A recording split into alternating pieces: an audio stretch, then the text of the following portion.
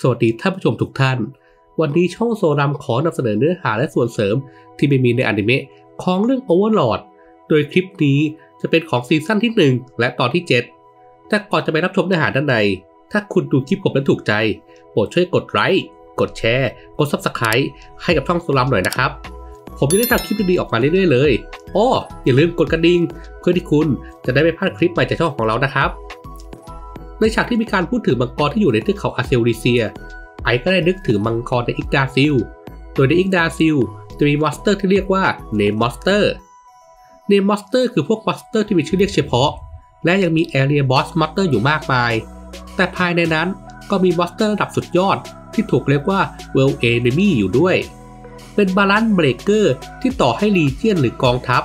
ซึ่งจัดตั้งจาก player จำนวน 6 คน 6 ทีม ก็จะมีโอกาสชนะที่ต่ำมาก และในอิกดาซิลก็จะมีพวกบอสตามเนื้อเรื่อง โดยของ official ก็มี จอมขมือบโลกนพเคราะห์ หรือ 8 มังกร ไม่ก็จอมมารเจ็ดบาป และสิบเทวทูตแห่งเซฟิรานอกจากนี้ยังมีศัตรูที่เพิ่มมาตอนอัปเดตครั้งใหญ่ การสูญเสียของวาลคีรีอีก 6 ตัวคือ จอมฟ้าสวรรค์ลำดับ 6 กับยูไล5สี รวมทั้งหมดเป็น 32 ตัว ในฉากที่พวกไอซ์มาถึงหมู่บ้านคาเน่ ตามในฉบับนิยาย ไอซ์ได้ให้นาเบใช้เวทหายตัว และหอบไปเช็คดูสภาพภายในหมู่บ้านก่อนนะครับ ในนิยาย ไอซ์ได้สั่งให้ออร่ากับมาเล่ไปทำภารกิจบางอย่าง ซึ่งภารกิจที่ว่าก็คือ การตรวจสอบปลาเพื่อค้นหาตัวตนที่สามารถนำมารับใช้นาซาลิกได้ รวมทั้งหาแหล่งกักเก็บทรัพยากร แหล่งกักเก็บทรัพยากรนี้ หรือจะเรียกอีกอย่างว่าสถานที่ลี้ภัยก็ได้ครับ ไอซ์สั่งให้หาสถานที่แบบนี้เอาไว้ เพื่อเอาไว้ซ่อนตัวหากเกิดเหตุฉุกเฉิน อีกทั้ง ยังเป็นการสร้างฐานที่มั่นปลอมสำหรับซุกซ่อนนาซาลิก และเอาเป็นที่เก็บทรัพยากรเพิ่มอีกด้วย ส่วนที่สั่งให้หาตัวตนที่สามารถนำมารับใช้นาซาลิกได้ เพราะไออยากรู้ว่าจะสามารถทำ power leveling ได้หรือไม่ และสิ่งที่อยู่บนโลกนี้ มีกลไกที่เกี่ยวข้องกับการอัพเลเวลอย่างไร นี่แหละครับ คือสิ่งที่ไอนซ์อยากรู้ ในบรรดาผู้พิทักษ์ชั้นของนาซาลิกออร่านั้นแข็งแกร่งน้อยที่สุด ถึงขนาดผู้พิทักษ์พื้นที่บางคนยังเก่งกว่าเธอด้วยซ้ำ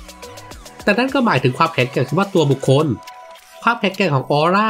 ไม่ใช่ในรูปแบบของบุคคล แต่เป็นไปในรูปแบบฝูง ออร่านั้นมีสัตว์ปีศาจหลายร้อยตัว ที่เธอสามารถควบคุมมันได้ และสัตว์ปีศาจเหล่านี้ก็มีเลเวลสูงสุดที่ 80 แต่เมื่อมี skill ของออร่าที่ช่วยเพิ่มความแข็งแกร่ง นั่นก็จะทำให้สัตว์ปีศาจเหล่านี้เลเวลกระโดดไปที่ 90 เลยทีเดียว ถ้าออร่าสั่งให้พวกมันเข้าร่วมการต่อสู้ เธอจะมีกำลังรบที่เหนือกว่าผู้พิทักษ์คนอื่น ชนิดที่เทียบกันไม่ติดเลยทีเดียวครับ และสัตว์ปีศาจที่ตามเธอเข้ามาในป่าก็คือ สัตว์ปีศาจระดับสูง ที่เรียกว่าสัตว์เทวะ โดยเฟนริลมีชื่อว่าเฟน อิทซัมนา มีชื่อว่าควาดาซิล ซึ่งสัตว์ทั้งสองตัวนี้ก็เป็นสัตว์ตัวโปรดของออร่า สิ่งที่ออร่าพ่นใส่ราชาปราชญ์แห่งพงไพรมันคือลมหายใจสำหรับควบคุมความรู้สึก ปกติแล้วมันเป็น passive skill วงแคบ ที่จะคอยกระจายอยู่รอบตัวออร่า แต่ถ้าใช้ควบคู่กับ skill การยิง ก็จะสามารถช่วยเพิ่มขอบเขตระยะของมันได้ โดยจะเพิ่มได้มากสุดถึง 2 กิโลเมตร ในความจริงแล้ว ขณะที่ไอซ์สวมชุดเกราะอยู่ ก็ยังสามารถใช้เวทมนต์ได้ 5 ชนิด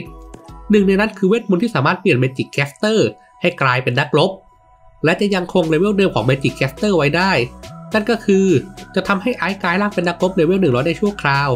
ข้อดีของมันก็คือ จะช่วยให้สามารถสวมใส่อาวุธของคลาสอื่นได้ แต่เมื่อมีข้อดีก็ต้องมีข้อเสียครับ